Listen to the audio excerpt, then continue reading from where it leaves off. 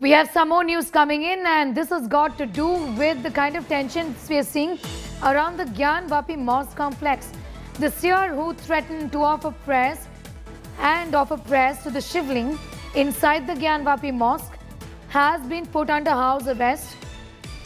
This because there was in fact an attempt by the seer and his supporters to then go to the complex and offer prayers at the Shivling in spite of permissions not being given.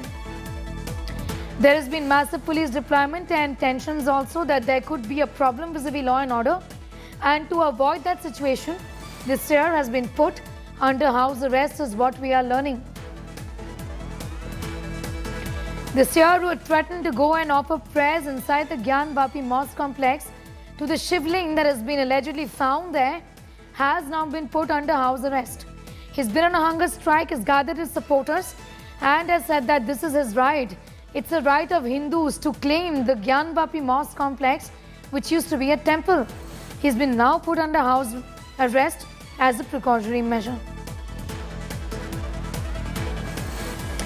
Okay, we're staying with this development from Varanasi.